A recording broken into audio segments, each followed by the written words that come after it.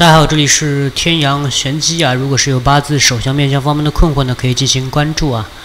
那么我们来看一下这个手相啊。如果是感情线啊，感情线是最能体现出一个人啊，这个一个女，特别是一个女人啊，这个婚姻的状态、感情的状态。如果是线条偏上走，指向食指跟中指之间啊，那么说明他的感情运势啊，情感是非常的不错的啊，幸福温馨，家庭美满。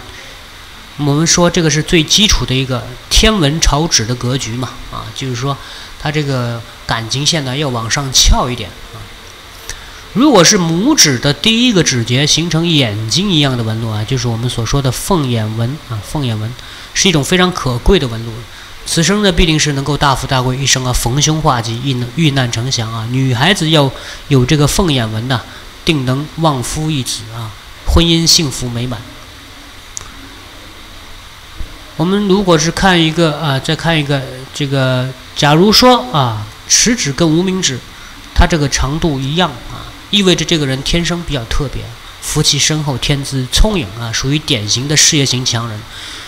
而且呢，自我的控制能力和自制力也是非常的好啊，尤其是他们自身的运势也是比较好，从小到大基本上没有什么一些难题啊，最终日子也是过得非常的好，尤其是在三十五岁之后，更能够大展拳脚。我们说以前讲这个